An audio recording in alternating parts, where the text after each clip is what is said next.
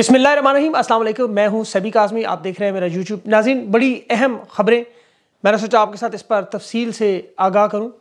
S H O Wazirabad, जो कि इमरान खान के कातलाना हमले में एफ़ एफ़ आई आर के जो मुदई थे, आज अपने घर में सुबह मुर्दा हालत में पाए गए। अस्पताल लेके जाया गया, लेकिन डॉक्टर ने वजह मौत, हार्ट अटैक बताया। अब किस तरह ये उन लोगों को ख़त्म करें जो बिकते नहीं या खामोश नहीं होते? ये तहकीकात कोई नहीं करेगा। ये कौन सा जहर है जो सिर्फ़ नून लीग या पीपल्स पार्टी या कंपनी के खिलाफ लोगों की हरकतें कल बंद होता है। ज़ाहिर है, वो लोग बड़ी परेशानी में चुन चुन कर मासूम लोगों को ख़त्म किया जा रहा है। और इन लोगों को कैसे ख़त्म किया जा रहा है, मैं आपको पूरी इसकी तफसीत बताता हूँ। अब तक जो लोग रास्ते से हटाए गए उनकी ज़रा तफसीलात सुन लें। कस्टम इंस्पेक्टर चौधरी एजाज महमूद, ये वो इंस्पेक्टर है जिसने सबसे पहले अयान अली का केस आपको याद होगा। उसे दो लोगों ने ज़ख्मी किया घर के बाहर। ये जरदारी की मुबैना लॉन्ड्रिंग केस को फॉलो करा था और अयान अली को इसने गिरफ़्तार करवाया था। जरदारी की डॉलर जो बाहर जाते हैं, उसमें आप सब पता है, बहुत सारी काविश में एक बड़ी अहम काविश थी। फिर वजी अजम शहबाज शरीफ उसके बेटों के खिलाफ नवंबर 2020 में मनी लॉन्ड्रिंग का जो मुकदमा था उस केस में शहबाज शरीफ था, हमजा शहबाज और सलमान शहबाज। ये मरकजी मुलजिम करार पाए थे। तीनों बाप बेटों पर 25 अरब रुपए की मनी लॉन्ड्रिंग ये केस सुन रहे थे director F I A Lahore जो डॉक्टर रिजवान, वो इस मनी लॉन्ड्रिंग के कई केसेस में तफ्तीश करके बिल्कुल उसको आखिर तक पहुँचा चुका था। 16 अरब की मनी लॉन्ड्रिंग का इल्ज़ाम था, बरह रास्त। एफ़ आई आर में 25 अरब का ज़िक्र था, लेकिन बरह रास्त सोलह अरब की। अब इस तहकीकात के मुताबिक मलक मकसूद के नाम से एक बैंक में अकाउंट जनवरी 2017 से फरवरी 2018 के दरमियान तीन करोड़ रुपया। इस और इसी दौरान फिर दूसरे अकाउंट में सात करोड़ ट्रांजेक्शन हुई और जो मलक मकसूद था उसकी पच्चीस हज़ार रुपये, तनख्वाह चपड़ासी। अब मैंने दो लोग आपको उसमें बताए हैं। फिर तीन मुलजमान इस केस के जो इश्तहारी थे, जिसमें सलमान शहबाज ताहिर नकवी और मकसूद चपड़ासी। केस चलता रहा। फिर एक गुआ गुलजार पहले हार्ट अटैक से। फिर मकसूद चपड़ासी अपने फ्लैट में मुर्दा पाया गया। फिर आप देखें कि जीआईटी के जो सरबराह डॉक्टर रिजवान, फिर वो हार्ट अटैक से। ज़रा आप गिनते जाएँ कितने लोग हैं। फिर इसके बाद आप केसेस जरदारी के देख लें, उसमें भी नैब के केसेस की तफ्तीश थी, जाली अकाउंट्स की। आसिफ अली जरदारी और फरियाल तालपुर उसमें शामिल थे। ये केस भी बिल्कुल अपने अख्तामी मराहल पर था कि जो उसका अचानक असलम महमूद नामी ओमनी ग्रुप का सी e था। जरदारी के खिलाफ एक बड़ा अहम गवाह था और उसकी गवाही के बाद ये सज़ा पक्की थी, यकीन था इसका। वो अचानक अपने घर में हार्ट अटैक, उसे हो गया। अब असलम मसूद को सऊदिया से गिरफ़्तार करके लाया गया था और ये बिल्कुल उस वक्त जब वो फ़्लाइट पकड़ कर निकल रहा और ये वायद केस था जिसमें जरदारी बच नहीं सकता था। इसकी करप्शन तीन बैंकों में, समिट बैंक, यूबीएल और सिंध बैंक, इन तीनों में। और मज़े की बात है, नामालूम अंदाज में सारी मालूम मुहैया की गई थी। और इन्हें शक था ये शख्स असलम महमूद है। और अपनी जान बचा कर यहाँ से निकला, लेकिन ये फिर उसे पकड़ कर लाए और उसे रास्ते से हटा दिया गया। और उससे पहले आपको याद होगा, बेनज़ीर भुट्टो का जो कतल केस था, उसमें खालिद शहनशाह उसे उसके घर के बाहर सफ़ेद गाड़ी में लोगों ने, नामालूम लोगों ने गोलियाँ मार दी। अब ये वो लोग हैं जो इन मामला में एनी शाहिद थे और इनकी गवाही से शरीफ ख़ानदान, जरदारी ख़ानदान अपने इंजाम को पहुँच सकते थे। अच्छा ये जो अचानक हार्ट अटैक और तबई मौत नज़र आती है, उसकी मैं आपको थोड़ी सी तफसील बताऊँ। कि ये लोग क्या इस्तेमाल कर रहे हैं। ये एक रूस का बड़ा ख़ास जहर है जो इंतहाई मोहलिक है। अभी यूक्रेन के तनाज़े में रोमन अब्राहमोविच जो कि अमन की कोशिशों में वहाँ लगा हुआ था उसकी भी अचानक तबीयत एक दिन ऐसी ही ख़राब हुई। आँखें लाल हुई जल्द उतरना शुरू हुई एलर्जी की तरह का रिएक्शन और फिर ये इस, इस, इस, इसका मज़े की बात है जहर का ना जायका ना रंग और मरने के बाद पोस्टमार्टम में भी नहीं आता। ये K G B F C P और जो खुफिया पुलिस है रूस की इस्तेमाल करती रही। बहुत से अपने मुखालफी को उन्होंने इस तरह रास्ते से हटाया। 2004 में एक विक्टर पुशानवे को आपको याद होगा, यूक्रेन का जो रूसी सदर के मुखालिफ लड़ रहा था इलेक्शन उस वक्त, उसे भी इसी जहर का निशाना बनाया गया। उसकी तस्वीर आप नहीं देख सकते, उसका चेहरा बिगड़ गया था। ये डी ऑक्सन नामी एक जहर है। फिर रूस का एजेंट अभी इंग्लैंड में आपको पता है, वहाँ उसे जहर दिया गया। और उसके पास, ये जहर जो था, बहुत सारे लोगों को आपको पता है, ये बड़े तरीके से इस्तेमाल किया। अभी इमरान खान की सिक्योरिटी पर बात करें तो देखें बहुत सारे लोग, जो लोग आपसे मज़ाक होना नहीं वीडियो से दिखाएँ कि लियाकत अली खान के कत्ल, कातिल के ख़ानदान को जो सहूलियात दी गई, ख़ानदान कहाँ गया, कौन देता रहा, ये किसी को नहीं पता। बेनज़ीर भुट्टो के कत्ल पर सबसे ज़्यादा फ़ायदा उठाने वाले शख्स आसिफ जरदारी को शामिल तफ्तीश नहीं किया गया। मुर्तज़ा भुट्टो का कत्ल आपके सामने हुआ। फिर इस तरह बेनज़ीर को भी ऐसे ही चुप लग गई अचानक। ये सब वो सिसिलियन गॉड फादर यानी देखा कोसा नोस्ट्रा के लोग जिनके मुकदमा जजेस नहीं सुनते थे, आज जो हो रहा है आपके सामने, गवाहान को उड़ाया जाता था, रिकॉर्ड जला दिए जाते।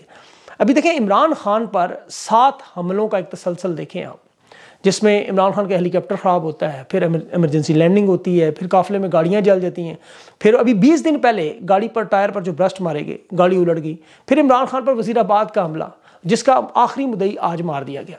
खाने में जहर की कोशिश बावरची को सदर से गिरफ़्तार भी किया गया था। सदर पिंडी से। जमान पार्क अब जो बावरची जिसे गिरफ़्तार किया गया तशद में बार बार एक ही बात वो पूछते रहे कि इमरान खान के घर में जो खिड़कियाँ और शीशे हैं, वो सिर्फ़ बुलेट प्रूफ है या बम प्रूफ है? यानी वो गोलियाँ जो उन्होंने मंगवाई हैं, वो बुलेट प्रूफ को तोड़ सकती हैं यानी या बम भी चलाया जा सकता है? अब अंदाज़ा करें ज़रा इन हालात में, और सबसे बढ़कर अरशद शरीफ के साथ जो हुआ, वो भी आपके सामने सोशल मीडिया वर्कर के साथ हो रहा है, जिस सलूक को ये साफ़ साफ़ बता रहे हैं बात कि बचेगा वही जो खामोश रहेगा। लेकिन जिसके नाम में मेरे ख्याल में हुसैन आता हो या नस्बत जुड़ जाए इनसे वो कुर्बानियाँ देने से नहीं डरते इन चीज़ों से। ये जितना मर्ज़ी जुल्म कर लें। इनकी ताकत ना तो फ़िरौन से ज़्यादा है, ना इनकी दौलत का रून से ज़्यादा है, ना इनका जुल्म नमरूद बिन करान से ज़्यादा है। उसने 400 साल फिर एक लंगड़े मच्छर की वजह से सर पर छितर खाए फिर गर्क हुआ, यजीद का नाम हमेशा मिट गया। तो इसलिए हर दौर के डिक्टेटर का, और सिर्फ़ ये नहीं, इनका इंजाम आप देख लें, अभी हाल में, फ़जा में कोई फटा, वो स्विमिंग पूल में नंगा होकर मरा। किसी की आखिरी वक्त में जिल्लत में एड़ियाँ रगड़ता रहा वो। और सिर्फ़ ये नहीं है। आप देखें कि सिर्फ़ बंदे नहीं मारते, ये रिकॉर्ड भी जलाते हैं। शरीफ खानदान के सबूत रिकॉर्ड में आपको बताता हूँ। आप हैरान होंगे। मेट्रो बस पिंडी का रिकॉर्ड लैंड रिकॉर्ड 2013 में आग में जला।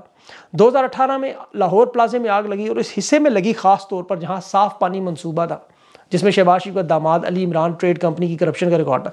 वो सारा जल गया। अच्छा उसके बाद आगे सुनते जाए थोड़ा सा। 2016 में नंदीपुर पावर प्रोजेक्ट जिसमें तेल की चोरी से लेकर करप्शन के सबूत थे, उसे आग लगी। सारे का सारा रिकॉर्ड जल गया। अच्छा उसके बाद फिर 2015 में, लाहौर में, मेट्रो बस के रिकॉर्ड रूम को आग लगी। उसमें दो अरब रुपए की करप्शन का केस था। वो सारा जल गया। उसके बाद आप देख लें फिर दानिश स्कूल लैपटॉप सस्ती रोटी, इनके मंसूबे गायब रिकॉर्ड गायब। फिर माजी में चले जाए, कर्ज उतारो मुल्क सवारो स्कीम्स को पता ही नहीं चला वो पैसा किधर है आज। इसी तरह नवाज़ शरीफ को जिन लोगों ने देखे, पीली टैक्सी और मुख्तलिफ़ स्कीमें अभी तुर्की में जो कूड़ा क्रिकेट उठाने वाली कंपनियों से लेकर आज के जो सोलर कॉन्ट्रैक्ट हो रहे हैं, ये रिकॉर्ड ऐसे ही गायब है जैसे सलमान शहबाज को दी गई ज़मानत थी। अब वो तेरे कत्ल में इनका एक बंदा आया हुआ है पिंडी में, वो भी उस, कोई मसला नहीं, उसका कोई रिकॉर्ड नहीं। पचास रुपये का दिया स्टाम्प मतलब ये लोग देखें बार बार बात करते हैं कि इमरान खान को भुट्टो, शेख मुजीब, वो, ये वाक़ात से डराते हैं। क्या इनमें कोई ममासलत है या कुछ फ़र्क है? इसमें तो कोई शक नहीं भुटो और इमरान खान दोनों ने अमरीका को चैलेंज किया है और रूस से ताल्लुक बनाए दोनों को अमरीकी साजिश के तहत अंदरूनी सतह पर डिक्टेटर से उन्होंने जुडिशल मर्डर एक उसको कराया, इमरान खान पर कातलाना हमला करवाया गया। फिर इन दोनों के खिलाफ तमाम सियासी पार्टियाँ किस तरह इकट्ठी हुई, ये बड़ी इंटरेस्टिंग आपको मैं थोड़ी सी डिटेल बताता हूँ ए बनी थी भुट्टो के खिलाफ और इमरान खान के खिलाफ पी अब मज़े की बात है एआरडी में उस वक्त मुफ्ती महमूद सदर था। आज पीडीएम में उसका बेटा फजल रहमान और उसका बेटा उसमें असेंबली में। ए में अब्दुल वली खान था और आज उसका बेटा इसफंदियार वली खान और अमल वली। ख्वाजा रफ़ीक वहाँ था, ख्वाजा साद यहाँ है। इसी तरह मियाँ शरीफ वहाँ था, नवाज़ शरीफ, शहबाज शरीफ मरीम नवाज़ यहाँ है। हाकिम अली जरदारी एआरडी में था और ये जरदारी और उसका बेटा। फिर ए में एक जावेद हाशमी ऐसा था, दोनों तरफ़ था, आज भी। फ़र्क सिर्फ़ ये मीडिया उस वक्त नहीं था, आज मीडिया मौजूद है। उस वक्त मैं नहीं था। मीडिया में खबर साई बहुत कम और एक तरफा उस वक्त होती थी। देखिए, ये बड़ी इंपॉर्टेंट चीज़ें हैं। उस वक्त जो हुकूमत आपको बता देती थी, ये लिख के ये बोल दें, वो आज बोल देते लोग। आज लोग अपने ख्याल का इजहार करें जब आप तक इन्फॉर्मेशन पहुँच रही हैं, ये आपको याद रहेंगी इन उस वक्त इतलात बड़ी कम होती थी। लोगों को उन्होंने आटे राशन पे उस वक्त फंसाया था, आज आटे पे फंसाया हुआ है। चीनी पे फंसा लेंगे, कुछ दिनों बाद आप देखेंगे। इनकी वजह यह है कि इमरान खान के लिए लोग मरने मारने के लिए तैयार हैं। ये सबसे बड़ा फ़र्क है जो भुट्टो और नवाज़ शरीफ और इन लोगों को नहीं मिल सका। अब लोग साथ भुट्टो के साथ जो हुआ और फिर शेख मुजीब के साथ जो ज़्यादतियाँ हुई, वो सारी और फिर मोहतरमा फातमा जिना के साथ जो जो हम पाकिस्तानी कौम नहीं कर सकी, वो अब सारी चीज़ें इकट्ठी करके इमरान खान के साथ कह रहे हैं कि इन्हें हमने बचाना है। शेख मुजीब को बांग्लादेश में मारा गया वहाँ और आपको पता है बाद में। अब लोग चाहते हैं कि हमें आज़ादी मिले और शूर तो लोगों के पास आ चुका है। और इस शूर का फ़ायदा उठाते हुए लोग ये सोच रहे हैं कि जो गलतियाँ हमने माजी में की हैं या जो नुकसान हमने लीडरान खो कर किए हैं, अब हम नहीं करेंगे। तो इसमें चाहे जो भी आमने सामने आ जाए। अब इनकी देखें, अगली आप फ़िल्म ज़रा देखें। ये भी बड़ी इंटरेस्टिंग चीज़ है। इसकी मैं आपको तस्वीर दिखाता हूँ। ये लुधियानवी को देख रहे थे कल परसों सारे, जब टीवी पे आया। तो लेकिन वहाँ पर एक और शख्स भी बैठा हुआ था, जिस पर किसी की नज़र नहीं पड़ी पहले। मेरे दोस्त हैं बड़े अच्छे, लेकिन बात करनी पड़ेगी। नून लीग पीपल्स पार्टी के कुछ सियासतदान तो उन्होंने मिला के एक अचार बना लिया है, लेकिन हुसैन अरकानी की किताब है, आप अगर पढ़े इमेजिन पाकिस्तान। इन्होंने री इमेजिन पाकिस्तान में वही चले कारतूस बलोचिस्तान, सिंध के, पी के पंजाब के, उन्हें इकट्ठा करके, वही सारी वारदात। अब इन, देखें यहाँ पर बैठा कौन कौन है? मिफ्ता इसमाइल, शाहिद खा खान अब्बासी, मुस्तफ़ा खर, और ये वही री इमेजिन पाकिस्तान का मंजन। वही प्रोजेक्ट वही चूरन बेच रहे हैं। और साथ इनके कौन है? कंपनी की तरफ़ से अब्दुल्ला गुल अमीद गुल का बेटा। दिफाई पाकिस्तान, वतन की हवाओं को सलाम करने आए। अब अगली प्रेस कॉन्फ्रेंस मुझे लगता है कलभूषण यादव को ले आएँगे राना सुनाल्ला साथ बैठा के बताएगा कि जी दिफा पाकिस्तान कितना ज़रूरी है। लेकिन देखें, अवाम जो है ना, वो एहतसाब जब करती है तो ना कजाफ़ी बचता है, ना सद्दाम, न जमाल अब्दुल नासिर, ना अनवर सादात ये फ़र्क सामने नज़र आता है। इस्टेब्लिशमेंट इलेक्शन नहीं चाहती। इनसे मुराद आपको पता है कौन कौन इस्टेब्लिशमेंट से। इनकी बका का मसला है, इनकी शडो हुकूमत साथ चलती है पैरल। खान वो नहीं चलाने दे रहा। सलूट, एक खान को नहीं मारने पर तैयार। ये कम अज़ कम पे तैयार नहीं है इस वक्त, कम अज़ कम पे। ये मैं बड़ी इंपॉर्टेंट बात कर रहा हूँ। पीडीएम इलेक्शन नहीं चाहती। उन्हें पता है बुरी तरह हाल ना उम्मीदवार मिल रहे हैं, ना वोटर इस्टेब्लिशमेंट और ये एक पेज पे है। अब सुप्रीम कोर्ट इलेक्शन चाहती है। सुप्रीम कोर्ट से मुराद ये जो पाँच जजेज हैं, जिनका भी आपने देखा, बातें वो करते रहे टेक्निकल फैसले पे सू मोटो ले या नहीं आयन में सीधी सी बात है इलेक्शन करवाने बस। इसके आगे कोई बात ही नहीं है। जजेस चाहते हैं वो नौ अप्रैल के फैसले को बैलेंस कर दें। ऐसा करना इंतहाई बेवकूफ़ी का मामला जो पीछे रह गया। अब आयन की अगर आपने बालादस्ती करनी है, कानून करनी है, जो किताब आपने रखी हुई है तो फिर तो ठीक है, वरना अगर आपने यही वारदात, लोग पूछते हैं ना बार बार होगा क्या जी? अब ये सारा मामला मेरे ख्याल में सुप्रीम कोर्ट पर है। अब चौदह को आपको पता है, जवाब जो ना, जमा कराने के फंड्स देने हैं या नहीं देने। अगर फंड्स ना मिले तो फिर सुप्रीम कोर्ट किस तरह से फंड्स निकलवाएगी? सेक्रेटरी खजाना वजी खजाना स्टेट बैंक, किसको बुलाएँगे? और अब चीफ जस्टिस उमर बंदयाल पर इंतहाई प्रेशर है। मीडिया टकाटक लगा हुआ है इनके ऊपर और स्कैंडल्स बनाए जा रहे हैं। ईद के बाद वीडियोज़ भी देखेंगे इनकी निकलेंगी। लेकिन ये दस दिनों में सारी सिचुएशन क्लियर हो जाएगी और यही दस दिन इस वक्त पाकिस्तान के मेक और ब्रेक है। सिक्योरिटी तो बैरी और फजाइया तैयार है। धांधली के चांस वैसे ही कम हो जाएँगे।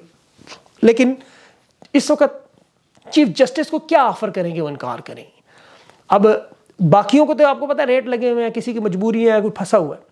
लेकिन इस वक्त चीफ जस्टिस इनको अगर शहबाज शरीफ को तोहन अदालत का नोटिस दे, जिस पर जो वो चाहते हैं, और ताकि उनको शहादत मिले सियासी तो चीफ उमर बंदयाल साहब से मेरा इस वक्त पूरा जो है वो लग गया कि ये अगर डटे रहे, ये अगर डटे रहे तो काम जो है पक्का है, वरना मामला जो है वो बदलेंगे, अवाम के हाथ में जाएँगे। जिस तरह अभी एक ट्रेलर हमने देखा है, ये लोग तो जुमे की नमाज़ नहीं पढ़ सकते फ़िलहाल। अभी वो फाकी वज़ीर इनका गया, मुर्तज़ा जावेद।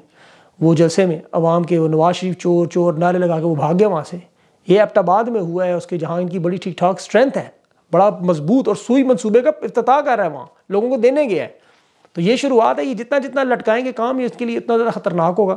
और जिधर उन्होंने ना की सुप्रीम कोर्ट ने तो उधर मामला बहुत ही ख़राब हैं।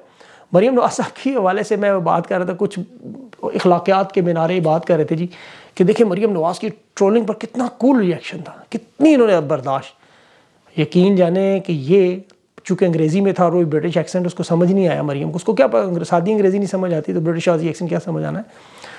ये कलेजा चबाने वाली इस तशद, पसंद औरत की जिसको तशद पसंद है। इसके नौकर चौक चाकरों से आप बात करें, वो बताएँगे किस कदर बदतमीज़ी से लोगों से बोलती हैं और हाथ छोट भी हैं और अथनी हैं। मतलब ये कप्तान सफदर के दरमियान की तरह आपने फासला देखा होगा कितना है? बारह छोड़ें, अब ये ज़ातियात पे बात चली जाएगी। अब असल मामला ये है सबकी नज़रें हैं कि सुप्रीम कोर्ट का, और मेरी भी आप सब लोगों से ये कि सुप्रीम कोर्ट की इस वक्त मजबूती के लिए इनके पीछे खड़े हों। उनके खिलाफ जो प्रोपागेंडा से नाकाम करें, क्योंकि ये टाइम है बस। अगर इन्होंने ये टाइम ज़ाया कर दिया तो फिर आगे इलेक्शन का मामला फिर आप, बहुत मुश्किल हो जाएगा, बहुत मुश्किल। लेकिन इन उम्मीद है कि अगले आठ दस दिनों में सारी सिचुएशन क्लियर होगी इलेक्शन ज़रूर होंगे। दुआ करें, अल्लाह ताला बेहतरी करे उन लोगों को अकल आए। किधर हालात पहुँच चुके हैं, इससे बेहतरी हो अपना ख़ास ख्याल रखें। मुझे अगली वीडियो तक के लिए इजाज़ दें। अल्लाह हाफिज़।